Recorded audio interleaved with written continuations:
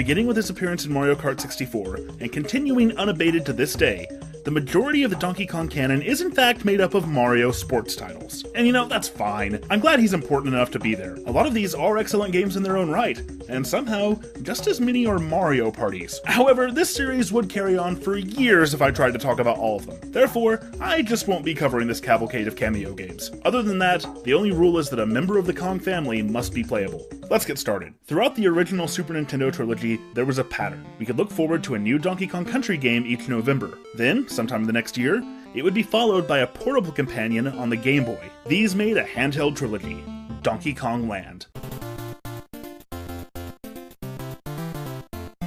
Shortly after the events of Donkey Kong Country, Cranky is rambling to its heroes, as he does. After a few hours of resolutions and colors and too many buttons, DK has had enough, and he snaps at his father.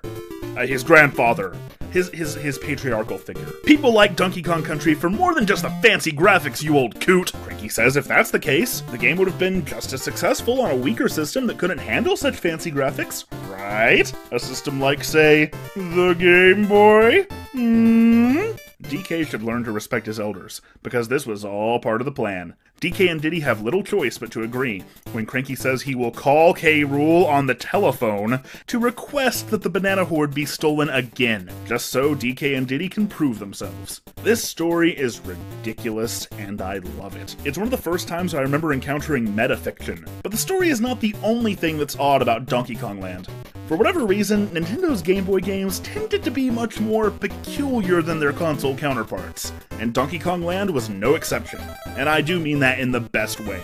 It starts out in your standard DK jungle, but the deeper you get, the more whacked out the game becomes. Where country was atmospheric and realistic, Lands could not do that, and it embraced that fact. You'll eventually discover the sunken depths of Kremlantis, pull Kong letters out of the interface to make platforms, and ultimately chase down K. Rool in Big Ape City. The Kongs clambering through a cityscape is such a juxtaposition of the series' usual setting, and that's awesome. What's not so awesome is the gameplay. The story proposes something the game design fails to deliver. The heroes claim that DKC would have been a fun game even without the graphics, so it's ironic that Donkey Kong Land is handicapped by trying to copy them. I'd have preferred traditional, smaller pixel sprites if they could have kept some of that fluid, fast-paced gameplay intact. That said, I understand why Rare made this decision. Donkey Kong Country would have been a fun game without them, but it was the ACM graphics that made it famous, and bringing that to the Game Boy was invaluable from a marketing perspective.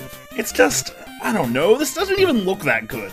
These assets just weren't meant for a monochromatic, low resolution display. And you might be saying, well, of course they look bad blown up to this resolution. But oh no, it was much worse at the time. This is about what the game looks like on a Game Boy Color, but that thing didn't come out until 1998. This is more akin to what it looked like on an original Game Boy in 95. Rare made the mistake of featuring dark character sprites on a dark background of the same color, and on the Game Boy's tiny, blurry little screen. Ah, it's no wonder I never got past World 2. Well, it's time to fix that. Look at how tiny K. Rool is.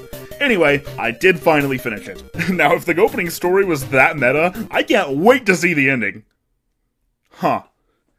No, no, it kind of works. Fortunately, Donkey Kong Land 2 and 3 would fix most of these issues. The engine was refined, the stage design was more solid, and thanks to lighter backgrounds and much better optimized character sprites, you could actually see what you were doing. They even managed to pull off some degree of that kinetic gameplay. 2 and 3 are excellent platformers for the Game Boy, although they don't really deviate from their 16-bit counterparts as much as I would like. The original Donkey Kong Land is certainly the most interesting. It did a lot to expand the series' mythology, but as a game, I can't really recommend it unless you're a hardcore fan. In any case, all three games finally came out on the 3DS eShop for 4 bucks a piece, so check them out if you'd like. So if you guys couldn't already tell, I'm a pretty big Donkey Kong Country fan, with Donkey Kong Country 2 being one of my most favorite games of all time. Between the tight and satisfying control, the great level design, and the badass soundtracks, I can't help but replay these games over and over again. But sometimes replaying your favorite games can give you a craving for something new, and that's where the Donkey Kong Land trilogy comes in. While these games may appear at first glance to just be the Donkey Kong Country trilogy were made for the original Game Boy, they're actually pseudo sequels that provide all new and exclusive content using the same assets from their console counterparts. You bet that got my attention. I couldn't wait to play these games. My first time playing them, I remember enjoying myself, but that was a while ago. Does the Donkey Kong Land trilogy provide a satisfactory experience for fans of their home console counterparts? Are they even good games in general? Let's find out. Donkey Kong Land was released for the Nintendo Game Boy in June of 1995, with DKC2 launching in November of that same year. The plot is pretty interesting. After recovering the banana hoard from King K. Rool in Donkey Kong Country, Cranky Kong jealously remarks that the game only did so well because of its fancy SGI graphics and realistic sound. DK and Diddy retort that the game did so well because of its gameplay, not because of its aesthetics. Cranky then wagers that his grandapes could never have defeated King K. Rool and retrieved the banana hoard if their game was on the 8-bit Game Boy. DK and Diddy accept Cranky's challenge, realizing only afterwards that they've been duped. Now the primates will have to make their way through 32 new levels and 4 new worlds to defeat King K. Rool and the Kremling crew once again only in 8-bit. It's a cute and charming setup for a pseudo-sequel to Donkey Kong Country. In terms of dem aesthetics, Donkey Kong Land is one of the most impressive looking titles on the Game Boy. The backgrounds are highly detailed and varied, and the sprites themselves have been reformatted directly from the Super Nintendo original. Despite reusing a lot of assets, the game features plenty of new level themes, stage hazards, and enemies to distinguish it from the console version. Personally, I find it a lot more varied and interesting than Donkey Kong Country itself when it comes to art direction. There is, however, one problem, one which my friend Game and Tank mentioned in his review of Donkey Kong Land. If you're playing this on an original Game Boy, the detailed backgrounds and detailed sprites blend together, which makes it hard to see what you're doing. And that's one reason why I wouldn't recommend getting this game on the 3DS Virtual Console, because it only features the original black and white color palette. Instead, I recommend playing it on a Game Boy Color, Game Boy Advance, Game Boy Player, or Super Game Boy.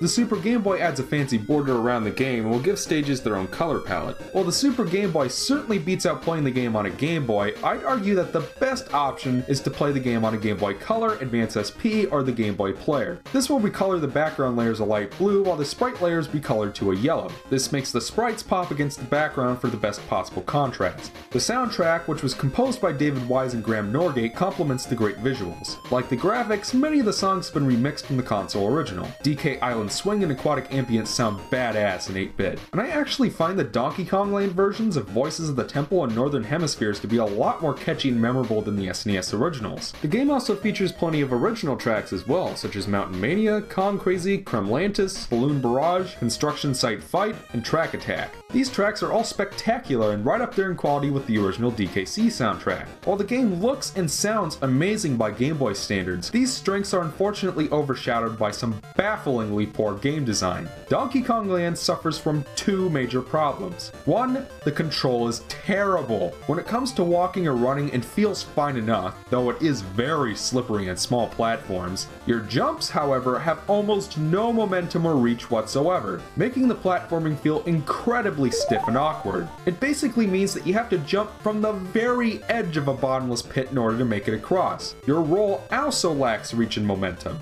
and roll jumping doesn't feel as useful as a result. Also, and this may be the Game Boy player's fault, but I swear that sometimes the buttons just don't respond to input. I'll press the B button to roll into an enemy, or the A button to jump over a pit, but on frequent occasions, nothing would happen. This occurred way too often for my tastes. The second major issue is the camera, because oh my god, it's just as bad as Sonic Genesis. While the sprites are highly detailed and look great, they take up so much of the screen that you're left with barely enough room to see. The camera tries to compensate by panning your sprite off to the side, but it doesn't seem to go far enough. Thus, enemies and stage hazards will constantly ambush you from off screen, which leads you to tiptoe through every stage so that you don't get hit. The awful camera also means that you'll frequently be making leaps of faith toward platforms you can't even see, and it doesn't help that the game is so bottomless pit heavy compared to the SNES version. On top of that, the heads up display is garbage. Lives are denoted with heart icons instead of a numeric counter, and there's no way to tell if you have your Kong partner or not. There were so many times where I would play a stage thinking I had the other Kong and could afford to take a hit, only for the screen to unceremoniously fade to white and send me back to the world map. And speaking of your Kong buddy, it takes forever for the game to swap from one to the other when you lose a Kong. Do I really need to watch this tornado thing every single time I get hit? And if you spawn over a bottomless pit,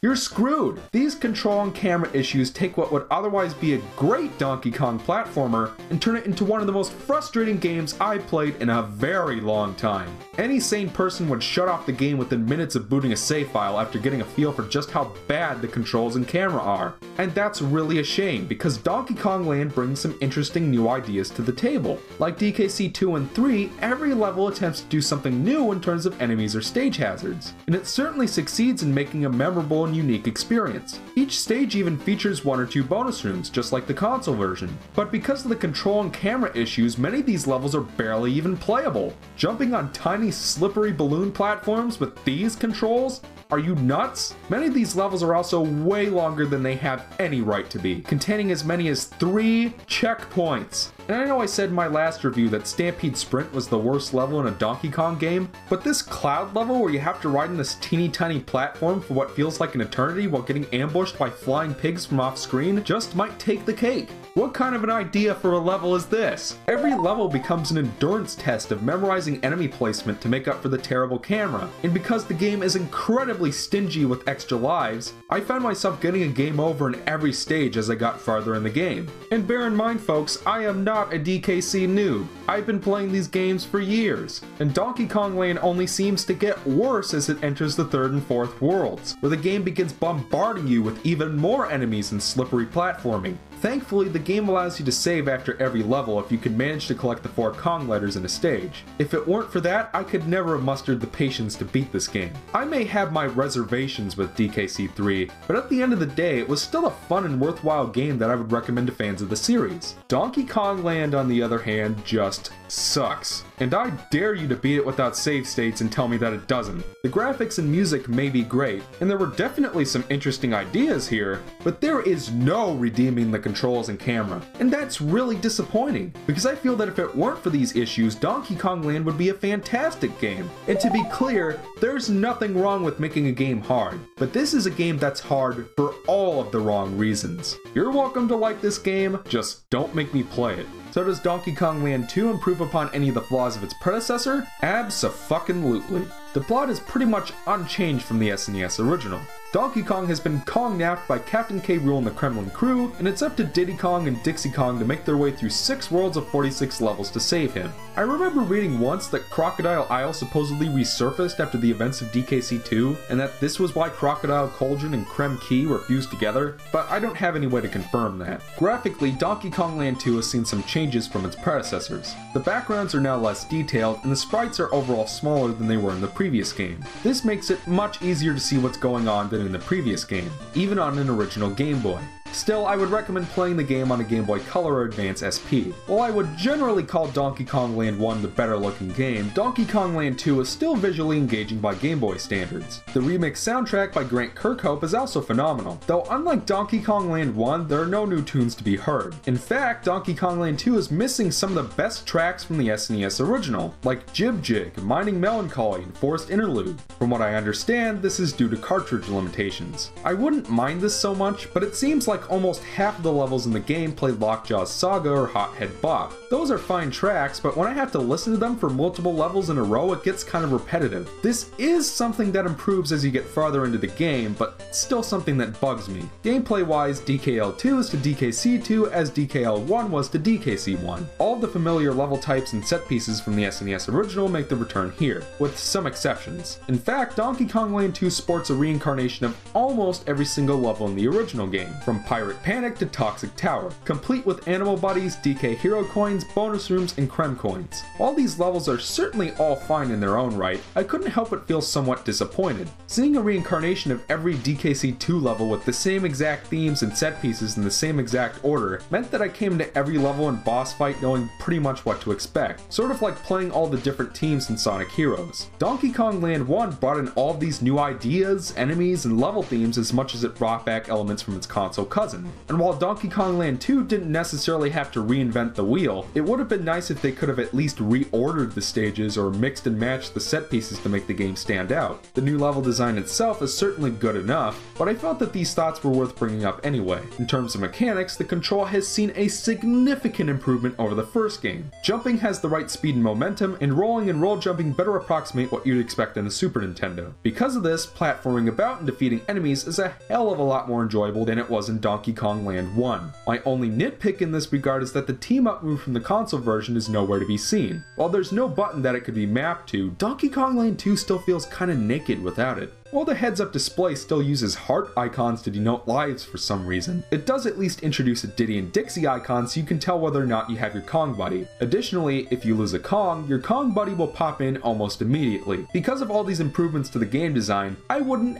hesitate to call Donkey Kong Land 2 a better game than the first, but it still has its share of problems in the gameplay department, chief among them being the camera. To be fair, it is definitely an improvement over the first game. Because of the smaller sprites and more dynamic angling, the overall visibility is much better, but there's still plenty of screen crunch to go around. And it certainly doesn't help that Donkey Kong Land 2 is just as overrun with bottomless pits as its predecessor. I couldn't tell you how many times I landed on an upper platform only to get blindsided by an enemy I couldn't even see. On top of that, some levels just don't seem to be designed with the limited camera in mind. I'm looking at you, Target Terror and Rickety Race. The water levels are probably the worst, since enemies can ambush you from every direction. While Donkey Kong Land 2 was certainly a hard game even barring the camera, most of the time I found myself dying due to poor visibility. Because the game is incredibly stingy with extra lives compared to the console original, I saw the DKC2 game over screen for the first time in years, and more times than I could count. The game does at least have a save feature, but like the console original, you have to pay 2 banana coins per save after your first free save. I still think this was okay in the console version, but in a portable game, you kinda need to be able to save at any time. I feel like Donkey Kong Land 1 was more optimized for that. In addition to the levels themselves, Donkey Kong Land 2 offers plenty of meat for completionists, with DK coins, bonus rooms, and Krem coins. As with the console original, you can gain access to 5 new levels in the Kremling Lost World, a secret final boss, and the game's true ending. As with DKC 3, I found myself enjoying the game the most playing through stages like normal, but for this review I decided to fully complete the game, for the bragging rights if nothing else. And I've gotta say, trying to explore these giant stages with such a limited camera feels kinda claustrophobic, and it doesn't doesn't help that the locations of many of these bonus rooms are kind of obscure and hard to find. Some of these levels can branch into a million different paths, which makes it hard to tell what's the way forward and what leads to collectibles. Like with DKC 3, I found that going for full completion only makes Donkey Kong Land 2 drag out longer than it should. Generally, I'd call DKL2 an improvement over the first game, and it certainly offers an impressive experience for a Game Boy title. But I can't help but feel that Donkey Kong Land 1 did more to distinguish itself from its console original by introducing new and creative ideas. Donkey Kong Land 2 also could have done with a more complete soundtrack and a save feature optimized for a handheld. The screen crunch and not infrequently tedious level design also prevent me from calling this a great Donkey Kong game. Overall, the game's just okay. While it's certainly a hell of a lot better than Donkey Kong Land 1, I still can't give it much more than a cautious recommendation. Donkey Kong Land 3, on the other hand, is pretty solid. It takes the creative and original ideas of Donkey Kong Land 1 and mixes it with the improved control and design of Donkey Kong Land 2. The plot is a follow-up to Donkey Kong Country 3, and a pretty fascinating one at that. One day, the Kongs receive wind of a contest for fabulous prizes to whoever can discover the fabled Lost World in the Northern Kremisphere. Donkey and Diddy Kong rush off for the Northern Kremisphere, determined to find the Lost World before anybody else. Left behind, Dixie Kong decides to team up with Kiddy once again to plow through 6 worlds of 42 levels to beat her Kong friends to the punch. Also vying for the Lost World are Baron K. Roolenstein and the Kremling crew, who attempt to slow Dixie and Kiddy's progress. The plot's nothing amazing, but still much more inspired than the second games. The graphics, like the previous games, are spectacular for a Game Boy title. The sprite sizes are smaller like in the second game, and the backgrounds are detailed while leaving enough white space to make out the sprites. Virtually all the familiar enemies, level themes, and stage gimmicks reappear, with some new additions as well. The soundtrack, which was remixed by Eveline Novakovic, might just be her best work. The original Super Nintendo soundtrack may not have been my favorite, but it sounds great in 8-bit.